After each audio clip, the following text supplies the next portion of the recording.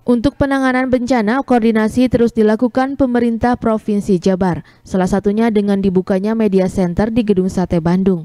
Masyarakat pun dapat melaporkan kejadian bencana ke posko tersebut melalui hotline yang dibuka. Masyarakat harus paham juga apa yang harus dilakukan ketika bencana terjadi. Gitu ya.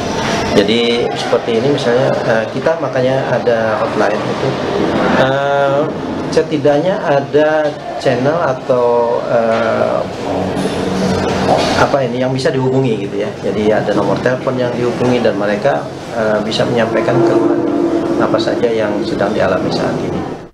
Gubernur Jawa Barat Ridwan Kamil menyatakan, pertengahan minggu ini dirinya akan rapat dengan semua daerah terdampak bencana. Berbagai solusi teknis akan direview seperti pembuatan bendungan di Karawang untuk mengurangi potensi banjir di Cibeet dan Cilamaya, hingga kerjasama dengan Kemen PUPR untuk percepatan bendungan di Sukamahi dan Ciawi. Gubernur berharap hal tersebut bisa mengatur minimal 30 persen pengendalian air sebelum ke arah utara.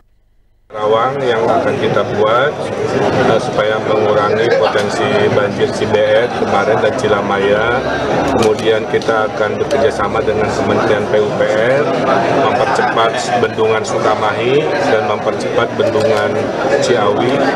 Uh, jika itu berhasil minimal 30 persen pengendalian air sebelum ke arah uh, utara uh, itu bisa diatur uh, sedemikian rupa walaupun tidak ada jaminan 100% ya karena kalau udah cuaca ekstrim kan tidak bisa diprediksi Gubernur pun mengapresiasi koordinasi yang baik antar berbagai pihak di Jabar untuk penanganan banjir.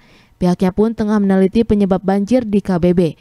Jika karena proyek pembangunan kereta cepat, pihaknya akan menegur KCIC. Budi Hartati, Bandung TV